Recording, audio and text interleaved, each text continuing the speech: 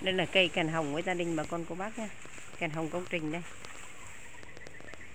Cây cao 3 mét trở lên bà con cô bác nha đường kính 5 6 cm cây bao đẹp bà con cô bác, từ Bắc chí Nam ai có nhu cầu trồng cây cành hồng công trình, liên hệ số điện thoại 0919 255 145 hoặc cây giống bolet.com bên gia đình đang còn rất nhiều. Đây hàng đang dồn lại để bốc cho khách hàng để đây để chuyển cho khách và con cô bác nha.